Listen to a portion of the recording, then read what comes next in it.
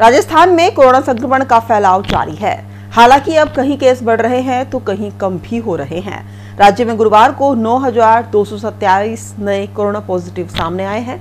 वहीं 20 रोगियों की मौत हुई है। चिकित्सा विभाग की रिपोर्ट के अनुसार राज्य में सर्वाधिक दो केस जयपुर में सामने आए। वहीं बात करें अलवर की तो अलवर में एक हज़ार एक सौ बानवे, अजमेर में तीन डूंगरपुर में तीन सौ छियासी, कोटा में एक सौ चौवन, नागौर में एक सौ सत्तर पाली में 222, प्रतापगढ़ में 131, राजसमंद में दो सौ बयासी सवाईमाधोपुर में एक सौ तिहत्तर सीकर में एक सौ अट्ठावन उदयपुर में तीन सौ बत्तीस जोधपुर में छह सौ इकसठ झुंझुनू में एक सौ उनचालीस झालावाड़ में एक सौ श्री गंगानगर में 719, डूंगरपुर में तीन सौ छियासी धौलपुर में 128, चित्तौड़गढ़ में दो सौ सैंतीस बीकानेर में 150, भीलवाड़ा में चार सौ सैंतीस बाड़मेर में 178, बांसवाड़ा में 212, बारह में उन्यासी और बूंदी में 25 नए कोरोना पॉजिटिव सामने आए।